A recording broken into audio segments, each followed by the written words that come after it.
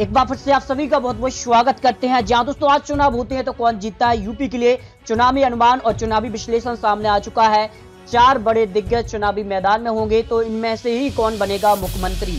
ये चार बड़े चेहरे हैं जिन पर मुख्यमंत्री दावेदार यहाँ पर बन सकते हैं इन चारों में से।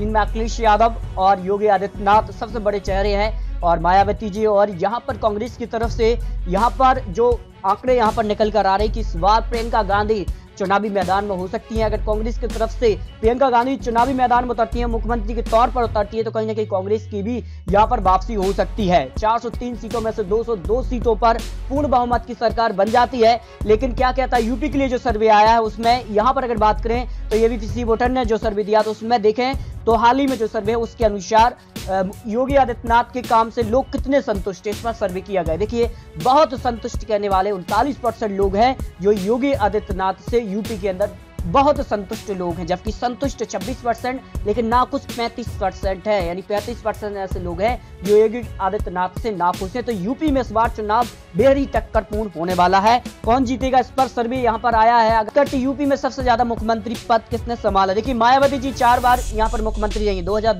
2003 और 2007 से 2012 तक वो मुख्यमंत्री रही है। लेकिन पाँच साल का कार्यकाल एक भी बार उन्होंने पूरा नहीं किया है।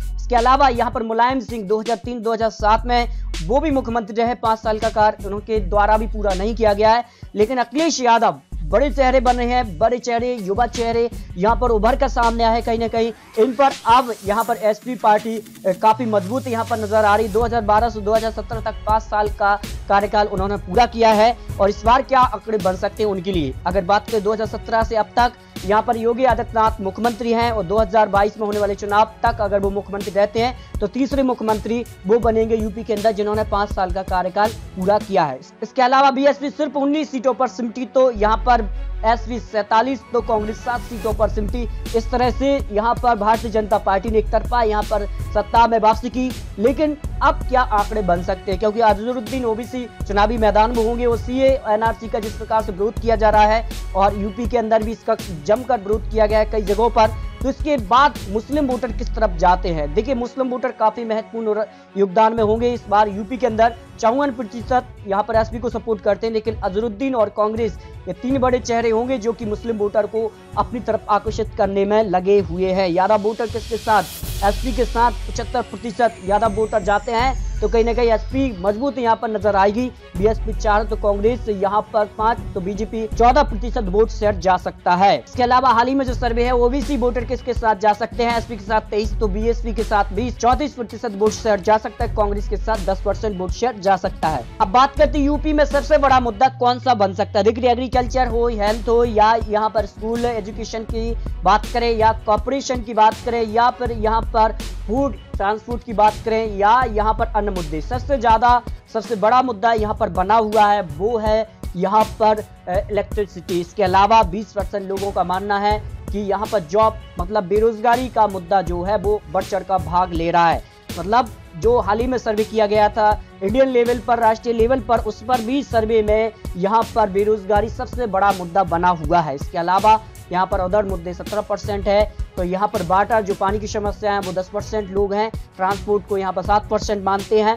तो इसके अलावा सबसे बड़ा मुद्दा यहाँ पर बेरोजगारी ही माना जा रहा है। इसके अलावा अगर बात, लेकिन मुख्यमंत्री की पहली पसंद कौन है? क्योंकि कांग्रेस ने भी झारखंड की बात की तो झारखंड में सरकार बना ली, महाराष्ट्र में सरकार बना ली। इससे पहले मध्य प्रदेश, छत्तीसगढ़, राजस्थान में भी कांग्रेस ने सरकार बनाई है।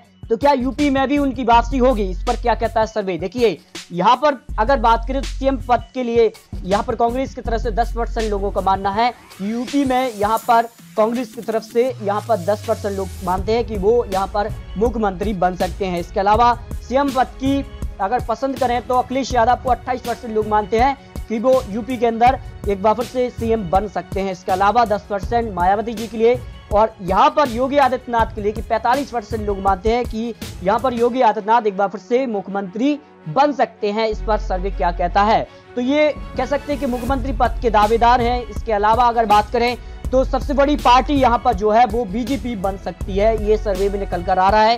हालाँकि सीटें अब तक क्लियर नहीं हो पा रही कि किसको, कितनी सीटें जा सकती हैं, क्योंकि इस बार कुछ आंकड़े बेहद ही चौंकाने वाले बनेंगे। लेकिन सबसे बड़ी पार्टी बीजेपी बनेगी ऐसा यहाँ पर आंकड़े निकल कर आ रहे हैं, लेकिन समाजवादी पार्टी दूसरी बड़ी पार्टी बनेगी। अगर समाजवादी पार्टी को कांग्रेस और यहाँ पर बहुजन समाजवादी पार्टी का समर्थन मिलता है तो फिर यहाँ पर ये जो गठबंधन होगा, वो कहीं ना कहीं बीजेपी से बढ़ जाएगा, यानी सरकार में वापसी हो सकती है। तो ये कई बड़े एक्सपर्ट लोगों के आंकड़े यहाँ पर निकल कर आए, जिसमें साफ़ तौर पर कहा जा रहा है कि बीजेपी एक बार फिर से सत्ता में वापसी करेगी। अगर गठबंधन नहीं होता है तो फिर बीजेपी एक तरफा यहाँ पर यूपी विधानसभा चुनाव 2022 जीतेगी। अगर गठबंधन हो जाता है तो फिर कहीं ना कहीं बीजेपी को नुकसान भी हो सकता है। या फिर समाजवादी पार्टी यहाँ पर अखिलेश यादव के लिए जो आंकड़े बन रहे हैं कि वो अगर गठबंधन में आते हैं तो वो सरकार में वापसी कर सकते हैं। इसके अलावा उनका लक्ष्य है तीन सीटों का लक्ष्य लेकर वो चल रहे हैं। तो क्या तीन सौ तिरपन सीटें वो हासिल कर पाएँगे या नहीं, ये तो आने वाला वक्त ही बताएगा। लेकिन आपको जो भी लगता है, अपनी राय कमेंट बॉक्स में दीजिए, क्योंकि आपकी राय काफ़ी महत्वपूर्ण है।